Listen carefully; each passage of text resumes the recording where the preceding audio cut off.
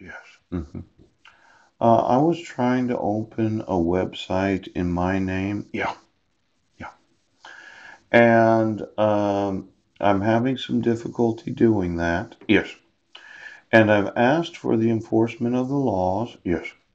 and no one wants to enforce the laws. hmm Now, this domain name, lakelandquadro.com, Yes. it has a registry domain identification. Yeah. And uh, it's a pretty good sized number. hmm I don't know how they get the domain ID. Yes. But when you think about it, uh-huh, the actual number is um, 230, no, 2 billion, 139 million. Yeah. 500, no, uh, 1, 2, 3, uh, 4, 5, 6, yeah. Uh, no, 2 billion, 100, 139 million, hmm 451,066. Yes. Now, there must be, there must be some question on this. It's kind of like when you have a numerical value for domain, Yes. there must be a formula uh, that is used to decide uh, the registry domain ID. Yeah. Now, when you go through, mhm, because I don't, you know, it's not really plausible that they started with the number one, Yes. And then every time somebody added a new domain ID, Yeah. a new domain, Yes.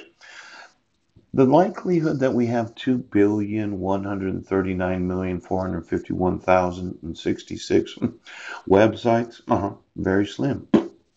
Why don't we ask WHOIS, uh-huh, uh-huh, exactly how the numerical sequence is for the registry domain IDs Yes. Of every website and every web page everywhere in the world.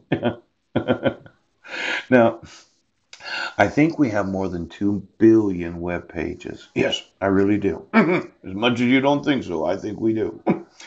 but I think that there's a possibility that somebody could falsify their actual domain ID without you knowing it. Yes. They could just, uh, let's say you put uh, 3 billion. Yes. 139,451,066. Yeah. In fact, you could play with it. You could take these numbers, Right. you could uh, just change all of them. One of these random algorithms where you go through every number available from 1 to 9. Yes. And you put all those numbers in those numbers. And you look for the domain names based upon Yes. some random algorithm of trying to decide the actual identity.